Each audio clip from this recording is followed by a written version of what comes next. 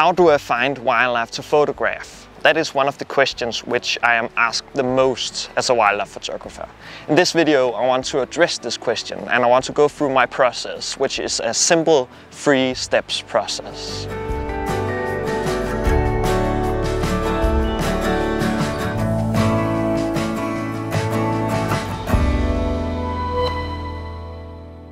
A few days ago I got a call from a good friend of mine who said that he had found a sparrowhawk's nest at a nature reserve right here in central Copenhagen. Sparrowhawks are always fun to photograph and I love spending time with them. And I thought that this was a great opportunity for me to go and photograph the chicks in the nest and see if there are any good stories around this that I can tell through a wildlife photograph. The first thing I did after I got the tip wasn't to rush out into the nature reserve itself. It was actually to look through Google Maps and get an overview of the area where I had got the tip uh, about the sparrowhawk. I find that these online resources such as Google Maps and eBird are great tools for me to gather a lot of information about an animal without actually leaving my apartment.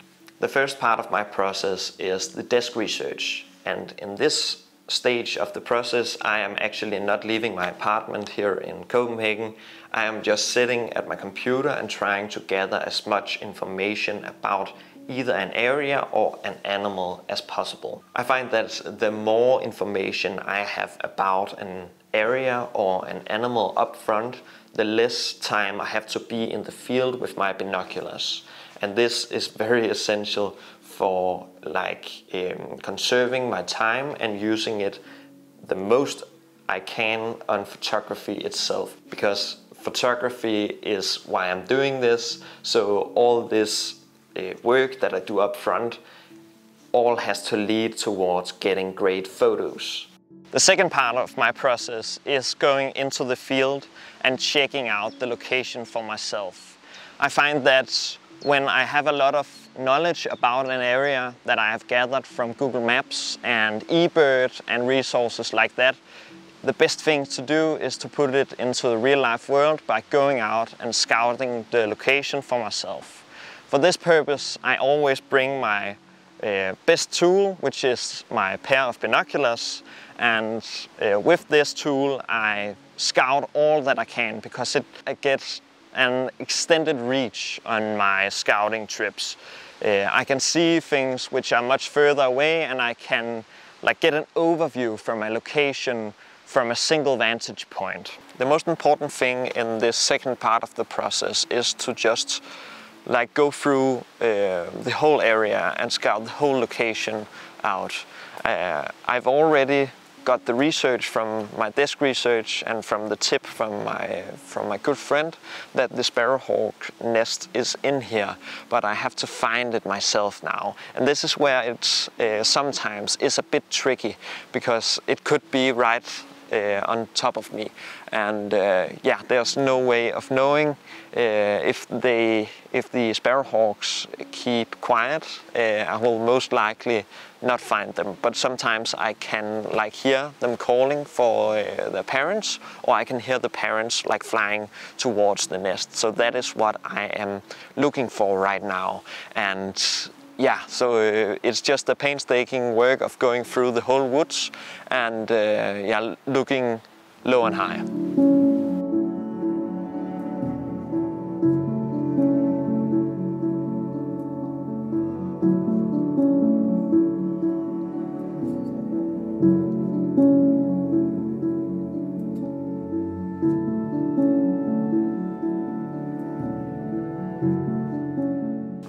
Alright, I got actually really lucky because the nest is just up here.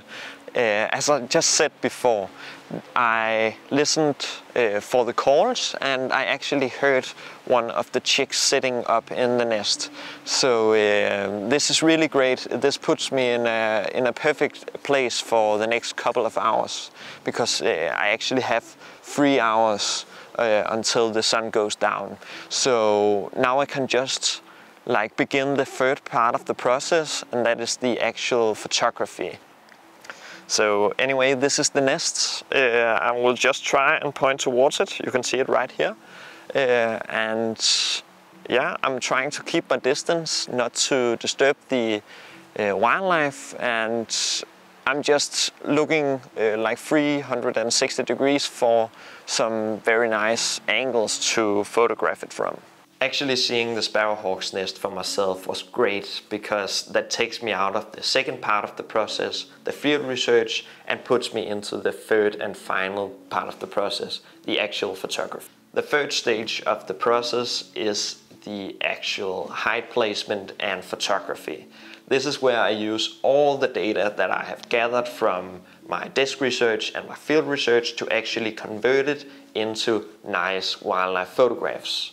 This is where I begin to think about all of the fun stuff about photography, such as composition, storytelling, and of course light. So this is also where I'm placing my height and I'm looking for the right angles, the right perspectives, and trying to convert all of my newly found data into some actually uh, good photography. I've just put my camouflage on. It serves two purposes today because um, first of all it serves the purpose of camouflaging me for the sparrowhawks up there. But second of all there are like mosquitoes everywhere in here. Uh, and yeah it'll just take the worst of them. I have put on insect repellent but uh, it's not enough. It's never enough with insect repellent. One of the angles that I have found to work the best is actually from right here I can look like uh, through some branches and some leaves and I just have this single head of the sparrowhawk chick like sitting up in the nest and I think that actually works really well for what I'm trying to create so I think I'm just taking this photo right here.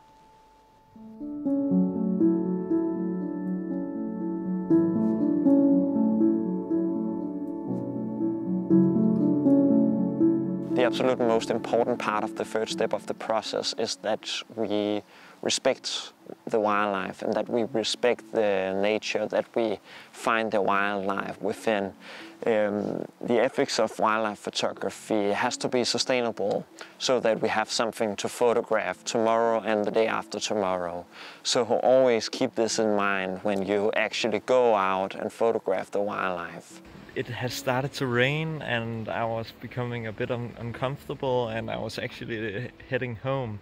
But as I was, I saw that one of the chicks actually left the nest. And this is the first time I've ever seen this before. Uh, it happens every year, but to be there at exactly the right time at the right place. Uh, this is just amazing. I'm just standing here recording the chick as it sits outside of the nest and I can just show you. Here is my Z9 on my tripod and right up here, I don't know if you can see it, that is the nest right there. And just to the right of the nest, right in front of my finger there, sits a young sparrowhawk. And it is just completely still and it is very calm and it has made for a very nice subject to photograph. You just see it on the back of my screen right here.